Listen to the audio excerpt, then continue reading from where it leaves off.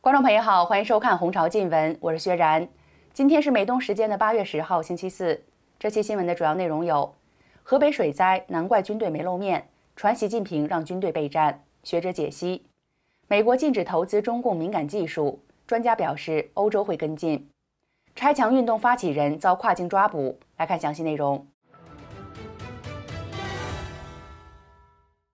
为了保北京和雄安，河北遭遇洪灾，外界注意到。民间救援团队成为了救灾的主角，中共军队却没有参与。军队不抢险也成为了最近网络上议论的焦点之一。网传的消息显示，之所以军队没有参与救灾，有三大原因。总的来说，就是北戴河期间高层正在全力斗争，习近平拿下一批将军，不敢指望军队忠诚，所以现在不敢调动军队，也没有人敢提出来要出动军队救灾。而且附近基地也有大批的设备和士兵被淹，无力参与救灾。消息来源讽刺说，这就是当局下的一盘大棋。另外，由于中共军报最近在评论文章中提出军队是用来打仗的，外界也担忧习近平正在让军队备战台海。中国民主党海外分部的主席王军涛在精英论坛中分析说，军队不救灾有两种可能：一是军报说的要准备打仗，军队要务正业。军队有国家拨款，就是要准备打仗。二是习近平在权力上出现了很大的危机感和恐惧感，他怕权力下放之后失控，所以要把军队隔离起来，严格控制。军队这个时候实际上什么都不能干。王军涛说：“从控制军队的角度来说，中共除了对军队要求枪弹分离之外，也不让军队接触地方。军队救灾时会接触到老百姓，也能看到民间的惨象。”甚至可能会接触到复员军人。复员军人如果告诉军队自己怎么受部队的欺骗，回来后怎么惨，那军心就会更加的不稳定。所以，王军涛倾向于习近平不救灾的主要原因，不是要打仗，而是让军队高度隔离，什么事也别干，要在军队强化欺骗性的宣传，保持军心的稳定。针对有关中共备战的说法，王军涛认为，中共有一个特点。在真正打仗之前，他是要喊和平的，不喊打。往往共军高调的喊打的时候，实际上不是要打。另外，在华北灾区，军队不是没有动，而是动的人数不够，而且主要的动向是拱卫京师，在加固丰台区等地，目的是防止临近的灾民跑去北京，所以要在沿途设防。官媒确实曾报道军队出动救灾，但很快被网民曝光是造假摆拍。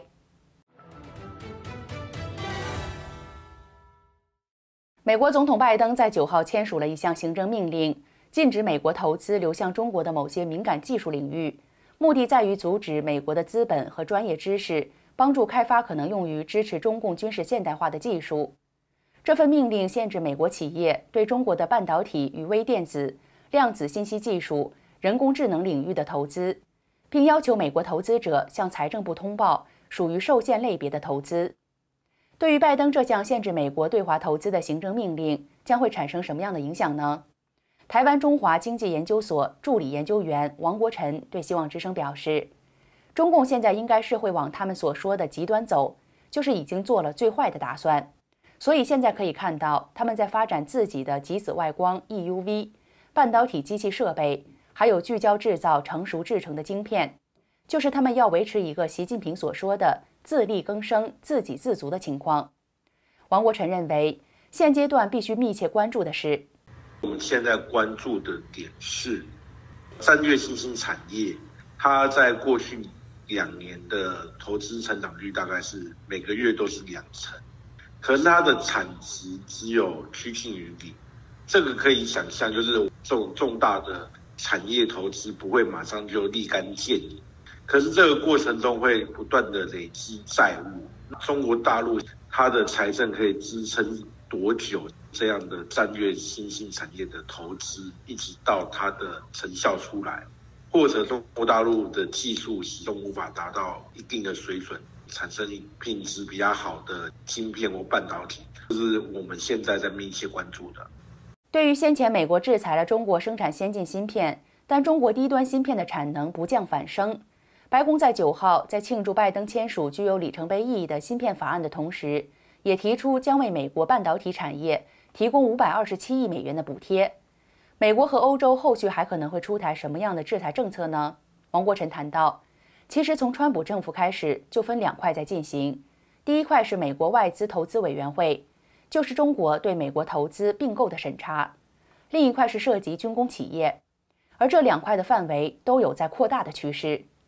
而对于拜登九号发布的行政命令，涵盖半导体与微电子、量子信息技术以及某些人工智能系统三个领域，王国成认为，后续还会有其他的产业限制出台。他表示，我们的预估除了这三个以外，后续应该仍然会拓展到生物科技。另外一个关注点是军工相关的，也就是航空航天之类的这一块，也是之前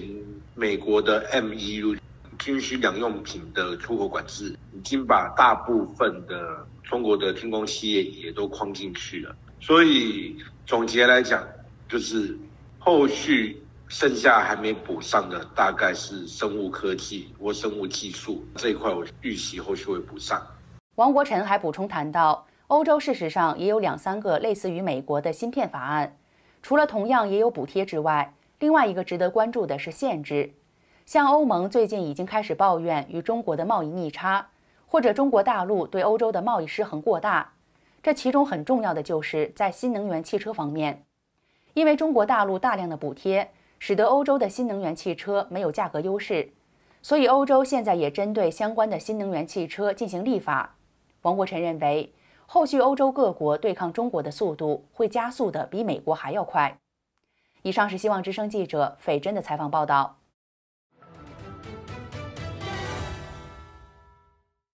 全球拆除中共网络防火墙的发起人，已经失踪了两个月的自由记者乔欣欣，本名杨泽伟，在老挝被捕之后，目前已经被送回湖南衡阳关押。活动人士指出，中共跨境执法、绑架日益猖獗。让海外的华人深感忧虑，国际社会应该高度重视。在荷兰的人权活动人士林生亮告诉美国之音，乔欣欣今年六四前夕在老挝首都万象被中共的警方跨境抓捕之后失踪。近期他联系到了乔的家人。林生亮说，七月七号，家人是接到了一个法律文书，知道了乔欣欣的下落，但是同时被告知不能会见。在今年四月份，住在老挝多年的乔欣欣曾对外披露，由于他发起了拆墙运动，他在湖南老家的亲人遭到了骚扰威胁，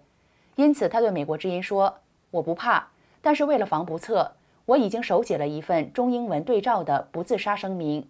如果我出现任何的意外，请大家找中共算账。”之后的五月三十一号，乔欣欣与外界失联。对此，住在华盛顿的人权活动家陈光诚对美国之音表示。他支持乔欣欣等活动人士推动的拆墙运动，强烈谴责中共实施的跨国绑架。陈光诚说：“我觉得这都是违法行为，是属于黑社会的行为，绝对不能允许。一旦允许中共这样下去的话，将来国界就是非常模糊的，对世界将造成威胁。”十多天前，人权律师卢思卫过境东南亚前往美国的途中，也在老挝被扣押。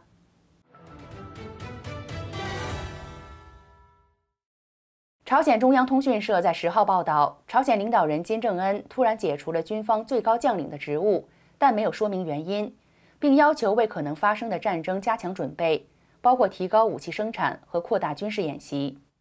报道表示，金正恩在朝鲜劳动党第八届中央军事委员会第七次扩大会议中发表了讲话，并在会中解除了朝鲜最高将领总参谋长朴秀日的职务，原因不明。朝鲜国防部长李永吉接任总参谋长。金正恩当天先是巡视了武器工厂，要求生产更多的导弹发动机、炮弹和其他的武器之后，发表了上述谈话。报道还说，金正恩也要求执行战争演习，训练操作朝鲜最新武器和装备，随时保持战备状态。在近期，金正恩一连多天视察了国内各个主要的武器生产线，并准备在九月九号。见证七十五周年纪念日举行阅兵。这期的红潮新闻就到这里了，欢迎就今天的新闻话题在视频的下方留言，和我们分享您的观点。请别忘记帮助我们点赞、订阅还有转发，也可以使用特别感谢功能来支持我们。感谢您的支持与收看，下次节目再见。